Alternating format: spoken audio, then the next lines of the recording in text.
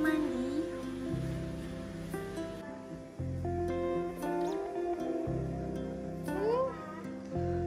Uh, langsung pada kumpul di sini.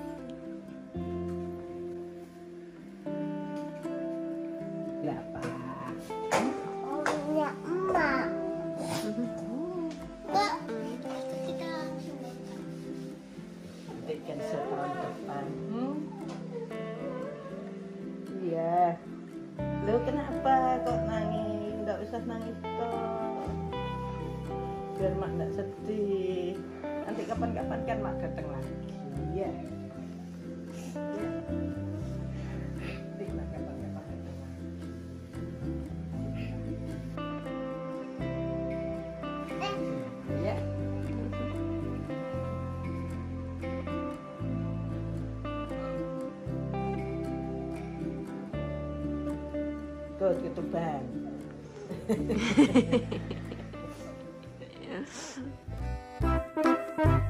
Nenekku ini hobinya sama kayak mama, sukanya bersih-bersih. Jadi kalau diajak jalan-jalan gak mau, maunya bersih-bersih aja di rumah. Tapi nenek suka mengajak kita jalan-jalan pagi, huh, menghirup udara segar. Nah, dan karena nenek tahu kita itu suka banget ke warung, nenek juga sering mengajak kita jalan-jalan ke warung untuk beli jajan. Ah.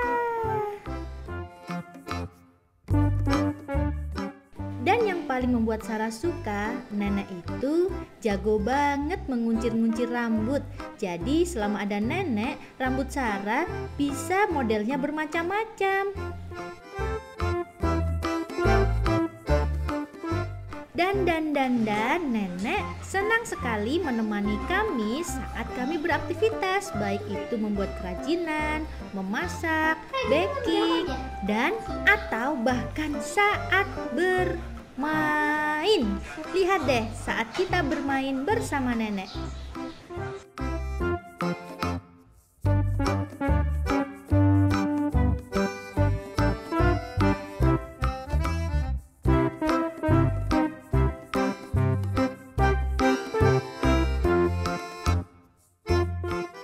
Selama 9 bulan di sini, setiap hari nenek bangun jam 4 pagi.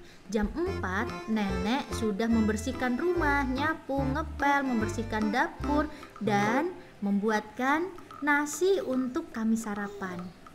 Jadi saat kami bangun pagi jam 5, hmm, aroma dapur sudah wangi dengan aroma nasi daun pandan. Kami pasti bakalan kangen sama nenek. Iya, nitip Pak Sulemi ya.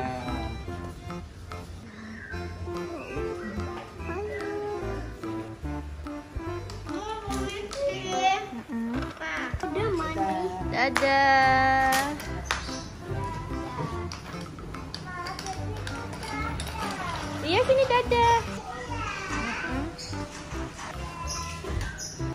Dadah mak. Iya.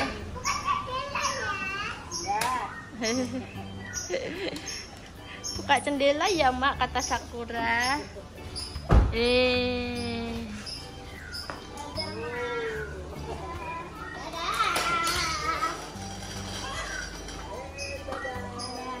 Dadah mak.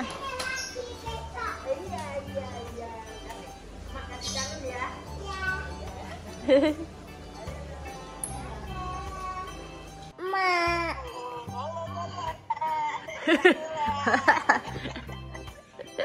Mak apain? Kok punya emak gede? Itu nomornya Sakura, Mak. Disimpan ya, Mak.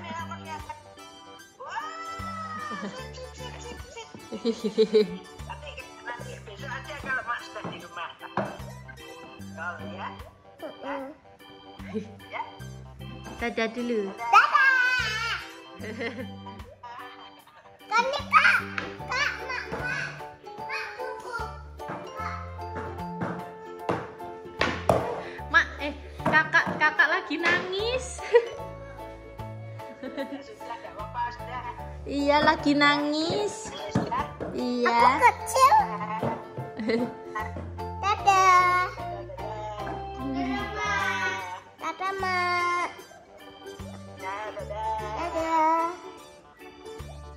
tambah sedih kamu telepon terus. Mak matiin? Ya. Seneng lebih seneng.